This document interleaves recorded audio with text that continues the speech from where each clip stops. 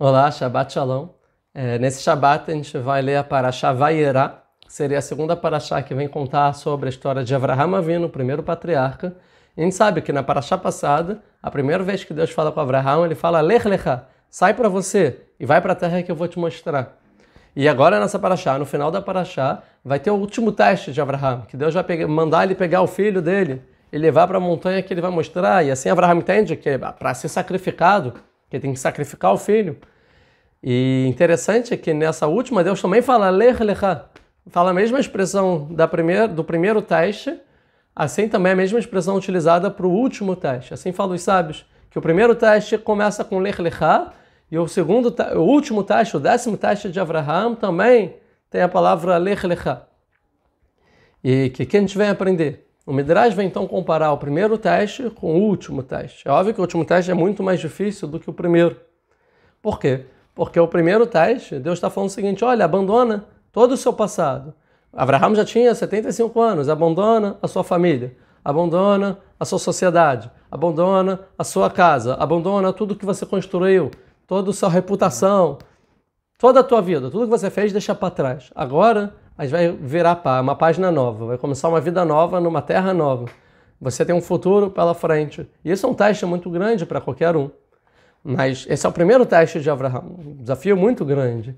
Agora, no último teste, Abraão, depois, quando com 100 anos, ele não conseguiu ter filho com a sua esposa e tem um milagre. E Yitzhak nasceu depois de tanto esforço, de tanto sofrimento, de tanta reza, né, com um milagre. E ele, por o, aqui falo os sábios que ele tinha 37 anos já. Então ele, ele ensinou, criou, ensinou Yitzhak, ele via em Yitzhak o futuro do, da humanidade, né? Que Deus falou, na sua descendência, vou, vou, vou concretizar com ela o que, que eu falei tudo para você. E toda a ideia de Abraão é que no futuro a descendência dele ia sair a luz para o mundo. Então tudo que ele, tudo na vida dele fez, ele concentrou no filho dele. Então desse filho vai sair tudo. Então ele ensinou, se esforçou, amor, né, o filho e tudo mais. E aí Deus fala: agora pega esse filho e mata. E aqui é um teste muito maior, porque enquanto o primeiro Abraão tem que abandonar o passado dele, nesse último teste Deus está falando: Abraão, eu quero que agora você abandone o seu futuro. Tudo que você planejou, tudo que você quis, agora apaga. Nada vai ser assim. Isso é muito mais difícil.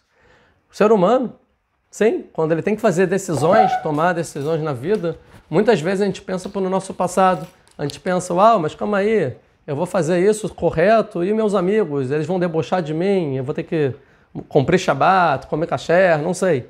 Eu vou ter que mudar, mas eu sempre fiz assim, como vai ser com meus amigos no o meu passado? Será que eu não vou ser mais eu? A minha identidade? Isso faz muito a gente deixar de tomar as rédeas da nossa vida e fazer as transformações e as decisões da nossa vida importantes que a gente deve fazer. Mas é, isso é muito difícil. Mas se a gente parar para pensar melhor, mais do que impede a gente pensar no passado é quando a gente tem medo do futuro. A gente fala, não, mas no futuro o que, que vai acontecer? É, o que, que vai ser do meu sustento? O que, que vai ser da minha família? O que, que vai ser dos meus amigos? O que, que eles vão falar? Né? O que, que eles vão pensar? Então, no futuro é, é bem mais difícil também tem um aspecto que a gente, cada como a gente hoje em dia, a gente planeja já o nosso futuro. A gente acha que a gente sabe o que vai ser o nosso futuro. Ah, vou fazer isso, que aí daqui 10 anos eu vou fazer aquilo, daqui 100 anos eu vou ser assim, aí eu vou conseguir aquilo, e no futuro você tem um sonho, você tem uma visão, né? E você acha. E muitas vezes, quando a gente tem que tomar uma decisão certa, o que mais dói é que fala: calma aí, mas se eu tomar essa decisão, tudo que eu planejei não vai ser assim. E a vida, Deus vem ensinar pra gente que a vida não é necessariamente como a gente planeja. A vida às vezes a gente tem que abandonar a nossa história e às vezes a gente tem que abandonar o que, que a gente planejou para o futuro. Porque no presente a gente tem que, tem que sempre, sempre tem que do, é tomar a decisão do que, que é o correto, agora, o que, que eu preciso fazer. Não importa o passado, não importa o que vai ser do futuro. O importante é o que, que Deus quer de mim agora. Shabbat Shalom.